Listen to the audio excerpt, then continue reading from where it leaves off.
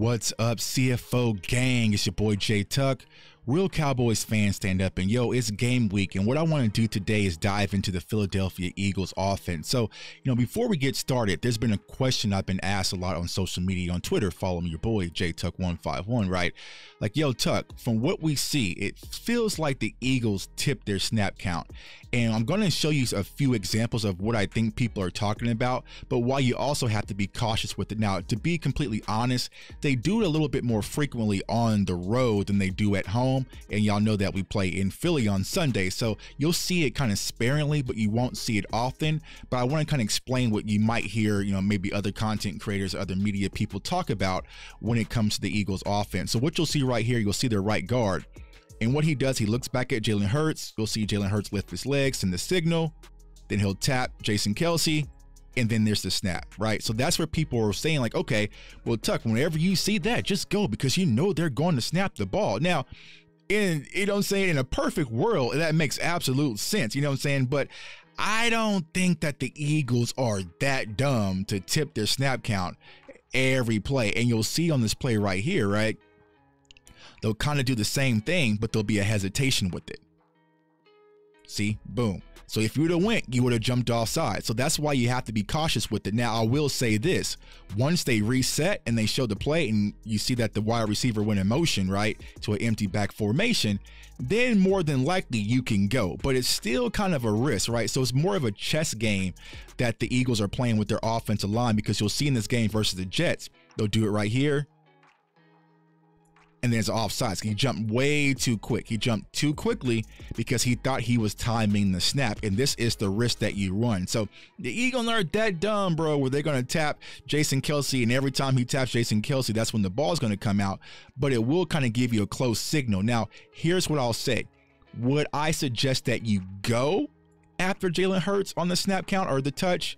Absolutely not. But what I would say you would do, you should shift. So pretty much if you're lined up in this B gap and that's where you're going to slant, maybe you don't come out in your base formation. Maybe as soon as he taps, you shift over into the B gap or shift over to the A gap. Or if you're a linebacker, you might stack over this A gap right here and then maybe bail out on the tap and then make Jalen Hurts make the read post snap. But as far as just tapping and going, all right, you're going to run the risk. And we all know the Dallas Cowboys have way too many penalties to get cute, and we definitely can't allow the Philadelphia Eagles to do that against us on Sunday. Now, when it comes to the Eagles offense, man, it starts and it ends with AJ Brown. I think last year it was more based around Jalen Hurts, but this year it starts and it ends with AJ Brown. Like you definitely have to stop AJ Brown because he's the engine, he's the steam of this offense, and he's off to an incredible start. He's like on a tear right now, right? So if you let him go, start getting things going, it definitely opens up in their offense. So right here, you'll see them down here in a stack formation, stack set, and you're going to see this a lot. They, they like to stack their wide receivers. And what's the benefit of stacking your wide receivers? Well, you can't get up and press, right? If you're trying to play man, you can't get up physical on them because it gives you free releases, just like why the Cowboys play a lot of bunch as well. But you'll see them stacked down low. And you have a play action, just a simple little underneath route to AJ Brown. And these are the things that, you know, the Eagles try to get him involved into the game plan early. Now I know there was kind of a little spat, a little bit of divinish, you know, earlier on, kind of like what the Cowboys went through with CeeDee Lamb, but then finally the light bulb kicked on, like, yo, just give AJ Brown the ball. So when it comes to the Eagles offense, you definitely have to scheme around him and make sure that you're focused and aware of where he is at at all times. Now, on this next play, it shows some of the talent that the Eagles have when it comes to their offense. And honestly, like they really don't have too many holes in their offense or any weak spots. I mean, their offensive line is solid. Um, they have dual running backs. They have wide receiver core. They have Jalen Hurts as a versatile weapon as well. If I had to say what is their biggest weakness offensively, it'll be their uh, offensive coordinator and Brian Johnson, right? So we have to copy kind of dummies out a little bit, but you'll see them motion swift out and go into an empty formation. And what it does, right? It gives you the tails. It gives Jalen Hurts his tails, right? That they're playing man to man defense because what you're going to see is number 52, a linebacker lined up on Swift. Now, Swift is more of those balanced running backs that can do a lot of different things, especially in the passing game as well.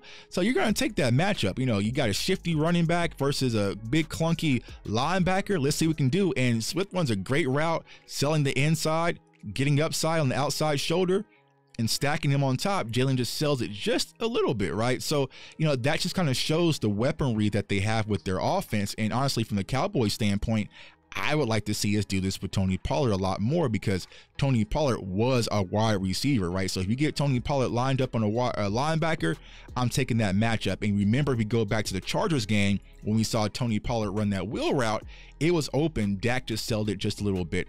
On this play right here, you see that the Eagles are coming out in a two by two set. And, you know, they're lined up the insides, and you have AJ Brown lined up on the inside down here below. And this kind of shows the power of AJ Brown, right? Because he's fighting through this man coverage, going to run this corner route. He's getting held for dear life, but he doesn't care. Gets the release, and that's easy money. So, you know, AJ Brown is a physical, physical corner. Like he's one of the toughest physical corners in the NFL. You know, he kind of reminds me a little bit of Dez. You know what I'm saying? Like how Dez was kind of our, you know, uh, engine and that physicality and our attitude. That's what AJ Brown is bringing to this Philadelphia Eagles offense. The main difference is they're actually using AJ Brown like a wide, re- a number one wide receiver and targeting him heavily. Now, here's what I will say.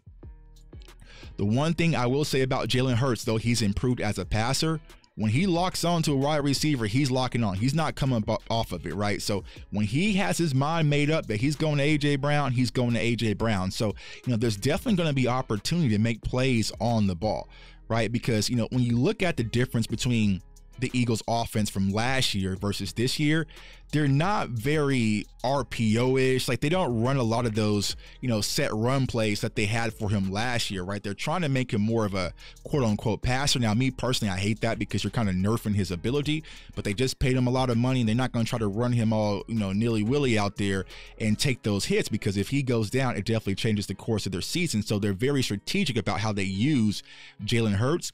But, you know, under pressure, his passing completion percentage drops drastically. it goes from like 74% to like 54% completion percentage when he's under pressure. But how he makes up for it, right, is he'll just use his legs and get the hell up out of there. So something you definitely have to be aware of when you're getting pressure on Jalen Hurts. You have to play assignment based football. You can't go out there playing hero ball because we'll see here in a second.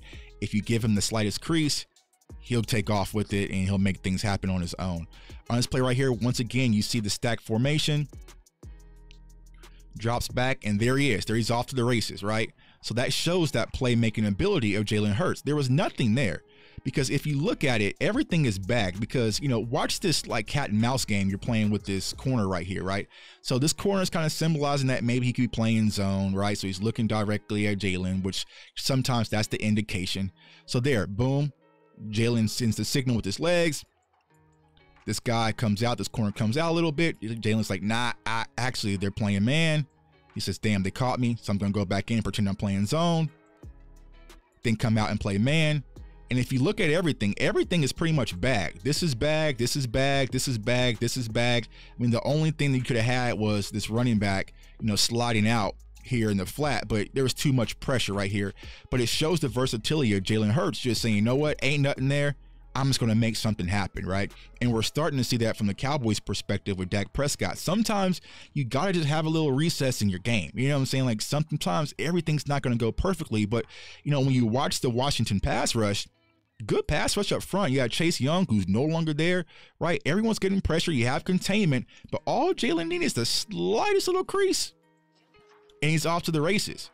You know, and once he's off to the races, he definitely just moves the chain. So that's something you definitely have to be aware of because if you're just rushing up field and you leave those creases for Jalen Hurts, he's going to take off. He's going to take off, make a play, keep the chain moving, and those things can hurt you throughout the course of a game. So you definitely have to, you know, be very aware of that. Now, would I spy him? Probably not initially, but I feel like the Cowboys linebackers with Markquese Bell, they're a little bit more agile because they're converted safeties playing linebacker, so they can probably run with Jalen, but also then you also have to deal with the power of Jalen Hurts as well. On this play right here, just a quick bubble screen to Smitty right? You're gonna get Goedert out there blocking, you're gonna get him out in space and just turn upfield. So they're they're not afraid to take the easy throws and let their playmakers be playmakers.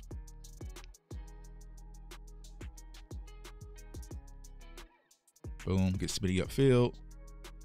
There you go. All right. Once again, you'll see right here, what do we have down low? You see that stack formation. You have a play action and just a slant.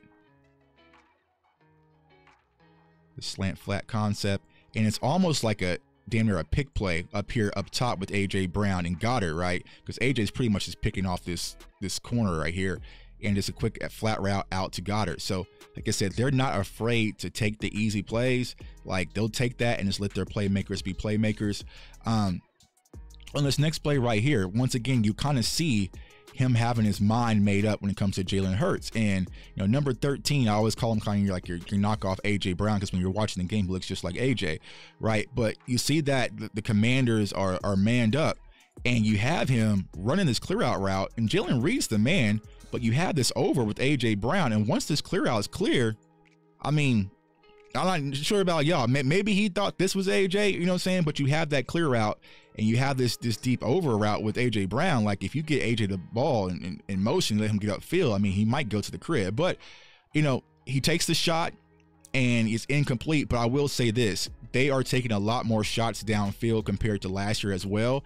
And overall, like that's been one of Jalen's strongest aspects of his game. Now, where the turnovers do come, it is from the deep shots, right? So there's going to be some opportunity, but you can't fall asleep at the wheel. Now, I think their game plan is going to be a lot different from the Cowboys standpoint because I think they're going to try to run the ball. They're going to want to get Swift involved a little bit more because they're going to want to test our run defense. But when you get the opportunity, you're going to have to make Jalen Hurts throw in tight windows because that's not really his game. So if you kind of get up there and press a little bit and play aggressive, it's going to be up to our corners and our secondary to cover their wide receiver core. But the most important thing, you have to limit the big plays, the big momentum shifts. And like this play right here versus the Jets, this is just big boy football. This is just Jalen going to, you know, Super Saiyan mode. He's, you know, pushing the defender off of one hand, has the outside hand free, throwing to AJ Brown for the completion. Like those are the type of things that can change the course of the game.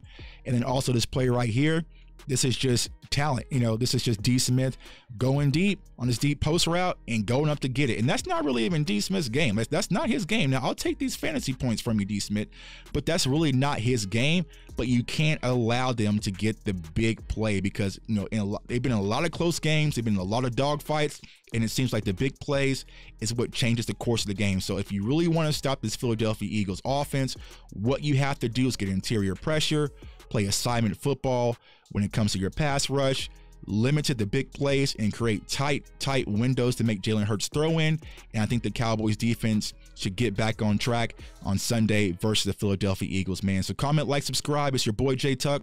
Follow me on all social media platforms. I want everyone to stay safe, stay blessed, stay encouraged, and go Cowboys. Peace.